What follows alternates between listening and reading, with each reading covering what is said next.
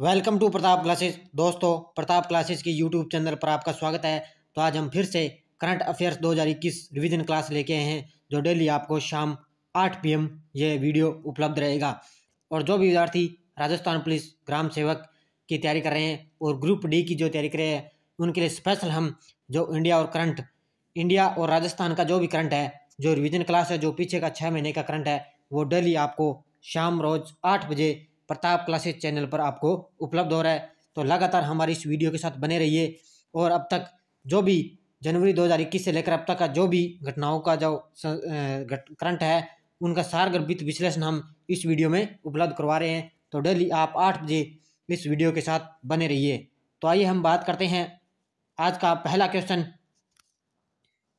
केंद्रीय गृह मंत्रालय द्वारा आज स्वाधीनता दिवस पर राजस्थान के किन दो पुलिस अधिकारियों को राष्ट्रपति पुल, पुलिस पदक से सम्मानित करने की घोषणा की गई है। तो अभी हाल ही में जो केंद्रीय गृह मंत्रालय द्वारा है अभी जो दो पुलिस अधिकारियों को राष्ट्रपति पुलिस पदक से सम्मानित करने की घोषणा की है तो वो है दो हैं कौन? अशोक कुमार राठौड़ और बीजू जॉर्ज जोसफ। इन दोनों को अभी गृह मंत्रालय की तरफ़ से दोनों को राष्ट्रपति पुलिस पदक से सम्मानित किया गया है। नेक्स्ट क्वेश्चन है। राज्य सरकार द्वारा वर्ष 2020-21 में निम्न में से कौन सी नीति जारी की जाएगी? तो अभी जो बजट हुआ है, उसमें राज्य राज्य सरकार द्वारा 2020-21 में ये कई नीति लागू की गई है। इसमें महिला कल्याण नीति, हस्तशिल्प नीति और स्टार्टअप नीति और राजस्थान फॉर्मर प्रोड्यूसर ऑर्गेनाइजेशन नीति, यानी कि एफ़ पी ओ, ये सभी विकल्प इसमें चयन करना है। ये चारों इसमें सही है। ए ए, बी और सी, ये चारों विकल्प इसमें सही है। मुख्य तथ्य की हम बात करते हैं बजट 2020-21 में घोषणा की गई कि वर्ष 2020-21 में बालिकाओं व महिलाओं के समग्र विकास हेतु महिला कल्याण नीति, यानी कि बालिकाओं व महिलाओं के समग्र विकास हेतु महिला कल्याण नीति और कृषकों के उत्थान हेतु राजस्थान एफपीओ नीति और शिल्प कलाओं के विकास हेतु हस्तशिल्प नीति और स्टार्टअप्स को प्रोत्साहन देने हेतु स्टार्टअप अप नीति को लागू किया जाएगा। इन चारों की घोषणा हो चुकी है। 2020-21 में राज्य सरकार द्वारा चार नीति है ये। महिला कल्याण नीति, हस्तशिल्प नीति और स्टार्टअप नीति और राजस्थान फॉर्मर प्रोड्यूसर ऑर्गेनाइजेशन नीति यानी कि F P O. Next question है, राजस्थान में वर्ष 2019-20 तक विद्युतीकृत आबाद गाँवों की संख्या कितनी है? तो दो दो हज़ार उन्नीस बीस तक जो विद्युतीकृत आबाद गाँवों की संख्या है, वो है तैंतालीस हज़ार एक सौ निन्यानवे। कितने हैं? तैंतालीस हज़ार एक सौ निन्यानवे। मुख्य तथ्य की हम बात करते हैं 2011 की जनगणना के अनुसार राज्य में कुल गाँव थे चौवालीस हज़ार छः सौ छिहत्तर थे छः सौ बेहतर थे, जिनमें चौदह सौ तिहत्तर गाँव गैर आबाद गाँव हैं और जो शेष हैं तैंतालीस हज़ार एक सौ निन्यानवे गाँव, उसमें सौ परसेंट गाँव में दिसंबर 2019 तक आर्थिक समीक्षा समीक्षा 2019-20 तक विद्युत पहुँच चुकी होगी। मतलब ये शेष बच गए हैं तैंतालीस हज़ार एक सौ निन्यानवे। जो गाँव में अभी लगभग 2019-20 तक विद्युत पहुँच चुकी है। नेक्स्ट क्वेश्चन है, राज्य सरकार द्वारा जारी नवीनतम सौर ऊर्जा नीति है। तो राज्य सरकार द्वारा अभी जो नवीनतम सौर ऊर्जा नीति है, वो है सौर ऊर्जा नीति 2019 कौन सी है? सौर ऊर्जा नीति 2019 मुख्य तथ्य देखो, यह नवीनतम राजस्थान सौर ऊर्जा नीति 2019 और सौर ऊर्जा उत्पादन क्षेत्र में निजी निवेशकों को आकर्षित करने के उद्देश्य से जारी की गई है। किसका मतलब है कि 2019 में जो सौर ऊर्जा नीति है, वो क्या निजी निवेशकों को आकर्षित करने के उद्देश्य से इसको जारी किया गया है? नेक्स्ट क्वेश्चन है, राजस्थान में 120 मीटर की ऊंचाई पर उपलब्ध संभाव्य पवन ऊर्जा क्षमता कितनी अनुमानित की गई है? तो अभी, जो अभी हाल ही में बारह सतर पचास कितनी? बारह सतर पचास मेगावाट है। वो राजस्थान में 120 मीटर की ऊंचाई पर उपलब्ध संभाव्य पवन की ऊर्जा क्षमता अनुमानित की गई है। मुख्य तथ्य देखो।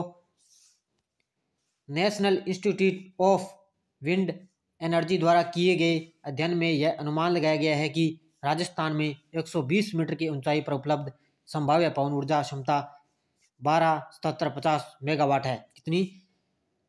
एक एक लाख सताईस हज़ार सात सौ पचास मेगावाट है। इतनी आपको याद रखनी है। नेक्स्ट क्वेश्चन है, राज्य के किस फ्रूड फ़ूड क्राफ्ट इंस्टीट्यूट को राज्य होटल प्रबंध संस्थान के रूप में क्रमोन्नत किया गया है? तो अभी राज्य के किस फ़ूड फ़ूड क्राफ्ट इंस्टीट्यूट को किया गया है? तो अभी फ़ूड क्राफ्ट इंस्टीट्यूट धौलपुर को। अभी इसको राज्य होटल प्रबंध संस्थान के रूप में क्रमबद्ध किया गया है। मुख्य तथ्य देखो, पर्यटन मंत्रालय, भारत सरकार ने फ़ूड क्राफ्ट इंस्टीट्यूट धौलपुर को, अभी इसको दर्जा दिया गया है। नेक्स्ट क्वेश्चन है, जयपुर मेट्रो का फ़ेज़ टू कहाँ से कहाँ तक प्रस्तावित है?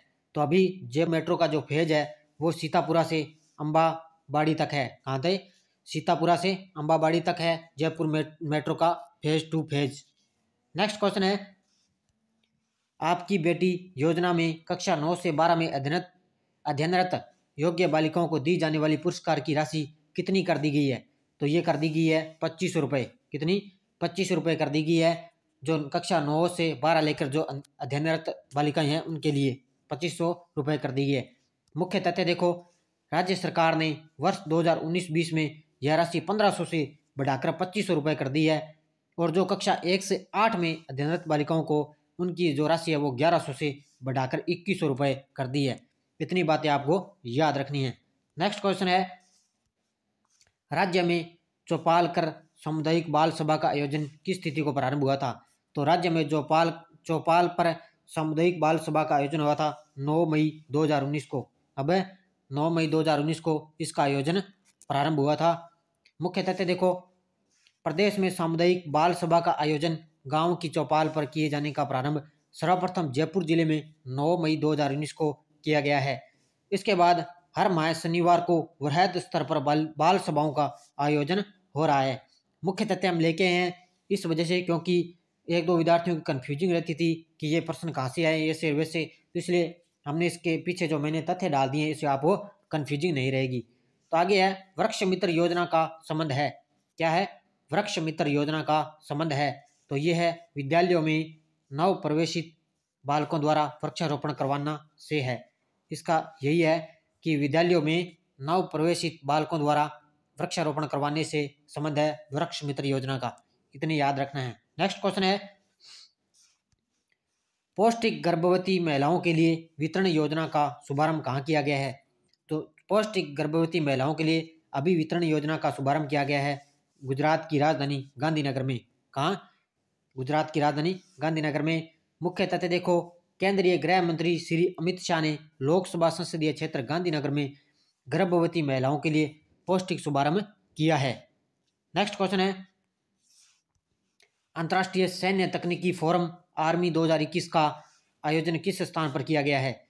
जो अंतर्राष्ट्रीय सैन्य तकनीकी तकनीकी फोरम आर्मी 2021 का है, उसका आयोजन रूस में किया गया है। कहाँ? रूस में किया गया है। उसका आयोजन मुख्य तथ्य देखो।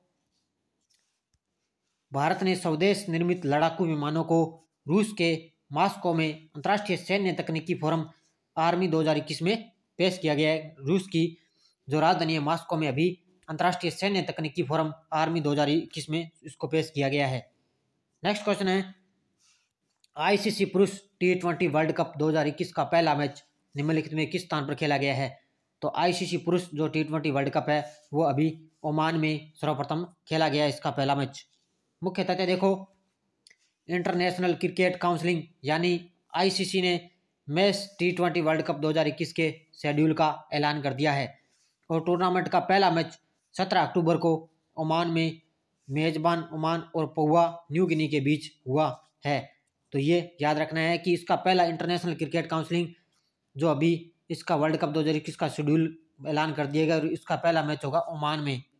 नेक्स्ट क्वेश्चन है हिंदुस्तान एरो, एरोनॉटिक्स लिमिटेड द्वारा उड़ान योजना को समर्थन देने के लिए किस विदेशी विमानों का निर्माण किया जा रहा है?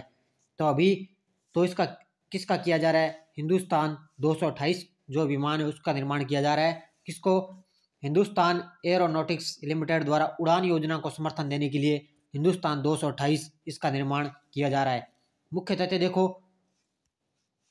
एच एच एल ने पंद्रह अगस्त 2021 को हिंदुस्तान दो सौ अट्ठाईस विमान के ग्राउंड रन और लो स्पीड टैक्सी ट्रायल को सफलतापूर्वक अंजाम दिया है। इस विमान का उद्देश्य क्या है? किसका उपयोग सिविल ऑपरेटरों और राज्य सरकारों द्वारा प्रशिक्षण रख रखाव और रसद की दिशा में निर्बाध समर्थन के साथ उनके अंतर्राज्य और अंतर्राज्य संपर्क के लिए सफलतापूर्वक किया जा सकता है? नेक्स्ट क्वेश्चन है, पाँच सितंबर को राजस्थान के किन शिक्षकों को राष्ट्रीय शिक्षक पुरस्कार प्रदान किया जाएगा? तो पाँच सितंबर को अभी दो जो शिक्ष, जो शिक्षक, राष्ट्रीय शिक्षक है, उनको पुरस्कृत किया गया। एक तो दीपक जोशी और एक है। जय सिंह इन दोनों को पाँच सितंबर को अभी राष्ट्रीय शिक्षक से पुरस्कार प्रदान किया गया है। मुख्य तथ्य देखो। शिक्षक दिवस पाँच सितंबर को मनाया जाता है और देश के चौवालीस शिक्षकों में से राजस्थान के तीन शिक्षकों को राष्ट्रीय शिक्षक पुरस्कार दिया जाएगा। और बीकानेर के दीपक जोशी ऑनलाइन शिक्षा को बढ़ावा देने के लिए और झुंझुनू के जय सिंह धनखड़, ये शारीरिक शिक्षा से संबंधित है। इन दोनों को अभी दीपक जोशी और जय सिंह इन दोनों को अभी पाँच सितंबर को राष्ट्रीय शिक्षक जो पुरस्कार दिया गया है। नेक्स्ट क्वेश्चन है, राजस्थान के पैरा बैडमिंटन खिलाड़ी कृष्णा नागर ने टोक्यो पैरा ओलंपिक में कौन सा पदक जीता है? तो अभी हाल ही में बैडमिंटन खिलाड़ी कृष्णा नागर ने टोक्यो पैरा ओलंपिक में सीधा ही स्वर्ण पदक जीता है, यानी कि गोल्ड मेडल जीता है। इसके मुख्य तथ्य देखो। टोक्यो पैरा ओलंपिक में जयपुर के बैडमिंटन खिलाड़ी कृष्णा नागर ने दुनिया भर में भारत का नाम रोशन कर दिया। एक्स जो इसकी जो कैटेगरी है, वो H H S H six category में हुए रोमांचक मामले में कृष्णा ने हांगकांग के चू मान केई को करारी शिकस्त देकर गोल्ड मेडल जीता है। तो ये नीचे और है। कृष्णा राजस्थान के दूसरे खिलाड़ी हैं, जिन्होंने ओलंपिक में गोल्ड मेडल जीता है और इससे पहले शूटिंग में अवनी लेखा ने गोल्ड मेडल जीता है। नेक्स्ट क्वेश्चन है। हाल ही में अट्ठाईसवें मथुरा दास अवार्ड के लिए किसे चुना गया है? तो अट्ठाईसवें मथुरा दास अवार्ड के लिए रवि बिश्नोई और अमन सिंह शेखावत को इन दोनों को ही अभी जो अट्ठाईसवें मथुरा दास अवार्ड के लिए चुना गया है। मुख्य तथ्य देखो।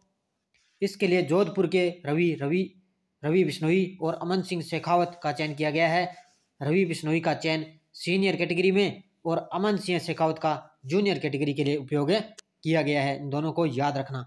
नेक्स्ट क्वेश्चन है, अकील अब्दुल्ला हमीद कुरैसी ने राजस्थान के कौन से मुख्य न्यायाधीश के रूप में शपथ ली है? तो अड़तीसवें हमारे जो मुख्य न्यायाधीश हैं राजस्थान के अकील अब्दुल हमीद कुरैसी ने राजस्थान के अड़तीसवें न्यायाधीश के रूप में शपथ ली है। मुख्य तथ्य देखो, राजस्थान हाई कोर्ट के अड़तीसवें मुख्य न्यायाधीश के रूप में अकील कुरैसी को राज्यपाल कलराज मिश्र के द्वारा शपथ दिलाई गई है। तो शपथ है, वो मुख्य न्यायाधीश को सिर्फ़ राज्यपाल ही शपथ दिलाता है। नेक्स्ट क्वेश्चन है, भारत ने 2021 तीरंदाजी विश्व चैंपियनशिप में कितने पदक जीते हैं? तो भारत ने 2021 तीरंदाजी विश्व चैंपियनशिप में तीन पदक जीते हैं। मुख्य तथ्य देखो टीम इंडिया के तेरह राज्यों ने संयुक्त राज्य अमेरिका के साउथ डोकोटा में आयोजित 2021 विश्व तीरंदाजी चैंपियनशिप में तीन रजत पदक जीते हैं। यह आपको याद रखना है कि भारत ने जो 2021 तीरंदाजी विश्व चैंपियनशिप में तीन रजत पदक जीते हैं। नेक्स्ट क्वेश्चन है कि विश्व नदी दिवस कब मनाया गया है? तो विश्व नदी दिवस है वो 26 सितंबर को मनाया गया है। कब मनाया गया है? 26 सितंबर को, ये याद रखना। मुख्य तथ्य देखो विश्व भर में नदियों के समर्थन, संरक्षण और संरक्षण की आवश्यकता के बारे में वैश्विक जागरूकता बढ़ाने के लिए 2005 से हर साल सितंबर के चौथे रविवार को विश्व नदी दिवस मनाया जाता है। ये हिंदी लिखिए नदी दिवस। नदी दिवस मनाया जाता है। 2021 में 26 सितंबर को विश्व नदी दिवस मनाया गया है। नेक्स्ट क्वेश्चन है, भारतीय सेना ने विश्व सांस्कृतिक महोत्सव किस शहर में आयोजित किया गया? तो भारतीय सेना ने विश्व सांस्कृतिक जो महोत्सव है, वो अभी कोलकाता में आयोजित किया गया था। किसने? विश्व सांस्कृतिक महोत्सव भारतीय सेना द्वारा कोलकाता में। मुख्य तथ्य देखो, भारतीय सेना 26 से 29 सितंबर तक कोलकाता में विजय सांस्कृतिक महोत्सव का आयोजन किया था। नेक्स्ट क्वेश्चन है, किस राज्य में दुनिया के सबसे ऊँचे ईवी चार्जिंग स्टेशन का उद्घाटन हुआ है? तो अभी हिमाचल प्रदेश में दुनिया के सबसे ऊँचे ईवी चार्जिंग स्टेशन का उद्घाटन हुआ है। मुख्य तथ्य देखो, हिमाचल प्रदेश में, लाहौल और स्पीति ज़िले के काजा गाँव में दुनिया के सबसे ऊँचे इलेक्ट्रॉनिक वाहन चार्जिंग स्टेशन का उद्घाटन किया गया है। ये आपको याद रखना है। नेक्स्ट क्वेश्चन है, राष्ट्रीय डिजिटल स्वास्थ्य मिशन किसने शुरू किया है? तो राष्ट्रीय जो डिजिटल स्वास्थ्य मिशन है, वो हमारे देश के प्रधानमंत्री नरेंद्र मोदी ने शुरू किया है, डिजिटल स्वास्थ्य योजना। मुख्य तथ्य देखो। प्रधानमंत्री नरेंद्र मोदी 27 सितंबर को राष्ट्रीय डिजिटल स्वास्थ्य मिशन के राष्ट्रव्यापी रोल आउट की घोषणा की है और इसका नाम बदलकर बदलकर प्रधानमंत्री डिजिटल स्वास्थ्य मिशन कर दिया गया है। नेक्स्ट क्वेश्चन है, दोहा में चौबीसवां विश्व खिताब किसने जीता है? तो अभी पंकज अडवाणी ने दोहा में चौबीसवां विश्व खिताब जीता है। मुख्य तथ्य देखते हैं हम भारतीय स्टार खिलाड़ी पंकज अडवाणी ने फाइनल में पाकिस्तान के बाबर मसीह पर जीत के साथ आई बी एस एफ़ छः रेड स्कुंदर विश्व कप में जीत के साथ अपना चौबीसवां विश्व खिताब हासिल किया है। ये याद रखना कि भारतीय स्टार खिलाड़ी ने अभी पंकज अडवाणी ने अभी दोहा में हाँ दोहा में चौबीसवां विश्व खिताब जीता है। आज का अंतिम question National Single Window System की शुरुआत किसने की? तो नेशनल सिंगल सिंगल विंडो की शुरुआत की थी पीयूष गोयल ने। किसने? पीयूष गोयल ने। केंद्रीय और वाणिज्य उद्योग मंत्री पीयूष गोयल ने single, National Single Window System की शुरुआत की थी। मुख्य तथ्य देखो, केंद्रीय वाणिज्य और उद्योग मंत्री पीयूष गोयल ने निवेशकों और व्यवसायों के लिए National Single Window System launch किया है। यह था हमारा आज का वीडियो। तो जो भी विद्यार्थी हमारे इस चैनल पर नए हैं तो चैनल को सब्सक्राइब करें और इसके पास लगे बेल आइकन के घंटे को दबाइए। चेक जैसे ही वीडियो अपलोड होगा, उसका नोटिफिकेशन आप तक पहुँच जाए। तो वीडियो अच्छा लगे तो लाइक करना कमेंट करो, ज़्यादा से ज़्यादा शेयर करना, और पीडीएफ है, वो हमारी टेलीग्राम पर प्रताप क्लासेस सर्च करके वहाँ से आप डाउनलोड कर सकते हैं। और इस वीडियो के डिस्क्रिप्शन में भी टेलीग्राम का लिंक है, वहाँ जाके फिर आप डाउनलोड कर सकते हैं। तो लगातार शाम आठ बजे इस वीडियो के साथ हमारे साथ जुड़े रहिए, और और इस करंट रिवीजन का जो करंट है, वो अपना तैयार कर लीजिए। तो जो भी विद्यार्थी ग्रुप डी की तैयारी करें, उनके लिए स्पेशल ये भी लगभग ठीक रहेगा, क्योंकि पीछे का करंट जो उसमें ऑनलाइन एग्ज़ाम होगा, क्योंकि पीछे का करंट उसमें पूछा जाएगा। तो धन्यवाद दोस्तों, जय हिंद, जय भारत।